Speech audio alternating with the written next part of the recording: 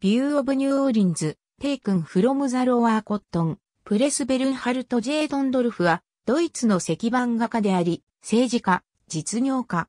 1833年からフランクフルト・アムマインで印刷会社を経営した。会社は1850年に市のカール・ナウマンの印刷会社と合併し、ドンドルフナウマン社となった。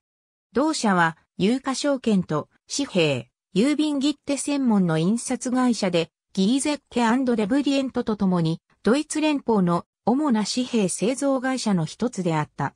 日本語では B、ドンドルフ、ドンドルフナウマン印刷会社とも表記され、一時期、日本政府のお雇い外国人のエドワルド・キオスソーネが在籍していたことでも知られる。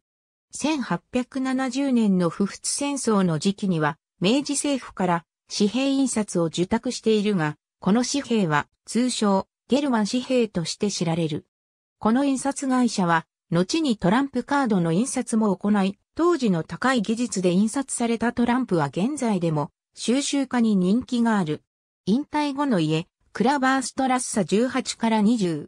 ドンドルフが1872年に引退してから住んだ家はフランクフルトベステント文化記念財に指定されている。ありがとうございます。